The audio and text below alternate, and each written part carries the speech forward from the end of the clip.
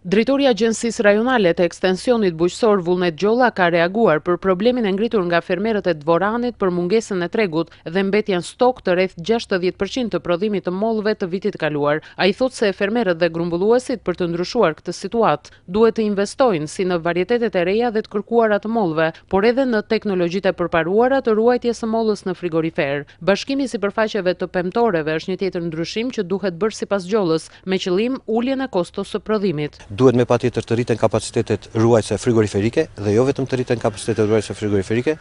por duhet me patjetër që këta frigoriferë të avancojnë me teknologjitë e reja të ruajtjes së këtij produkti, që do të thotë të kemi frigoriferë me atmosferë të kontrolluar, që këtë produkt të mos e ruajmë vetëm për 3-4 muaj që mund ta ruajnë këta frigoriferë me teknologji të vjetër, por ta ruajmë për 6 muaj, 8 muaj dhe një vit, sepse edhe tregtarët kërkojnë garanci në momentin që vijnë për të lidhur kontrata me fermerët tanë dhe duan që këtë produkt ta kenë përgjatë gjithë vitit. Një gjë e tillë mund të bëhet duke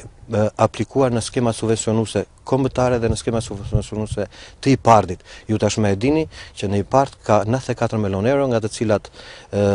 e gjithë kjo sasi lekësh duhet të thithet nga fermerët tanë, jo vetëm për mbjellje rrjeta breshër, rrjetat antibreshër, por edhe për kapacitetet dhe ambientet frigoriferike, dhe sidomos për këto ambiente. Pa diskutim që duhet të ndryshojmë varietetet, duhet të futim varietete të reja të cilat i kërkon tregu. Duhet me pa diskutim të ulim kostot. Dhe ulja e kostove vjen nëpërmjet rritjes ose vendosjes së varieteteve të reja, rritjes sipërfaqes të pemtoreve me sipërfaqe me varietete të reja, ulja e çmimit të inputeve bujqësore, për të cilën ju jeni të qartë, që qeveria shqiptare, që nga data një janar i këtij viti, ka ulur TVSH-në e inputeve bujqësore dhe jo vetëm, por edhe të farave, por edhe të fidanëve. Pra, vit për vit do të kemi ulje të kostos së prodhimit dhe rritjen e kapaciteteve frigoriferike që ne të jemi sa më të